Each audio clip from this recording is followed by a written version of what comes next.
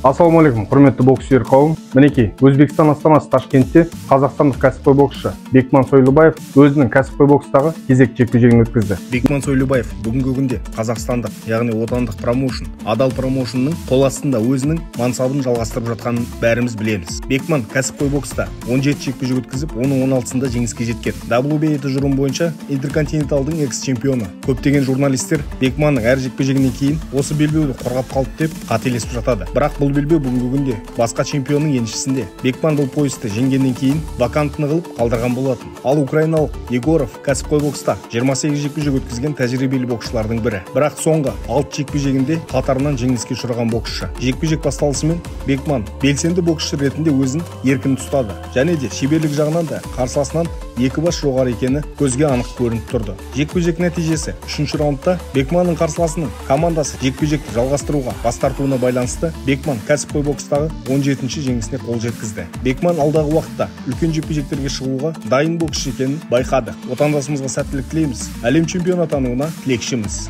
Мінекей достар қазақ боксының жеңісті күндері көп болсын. Қазақ бокс жасасын. Баршаңызға сәттілік.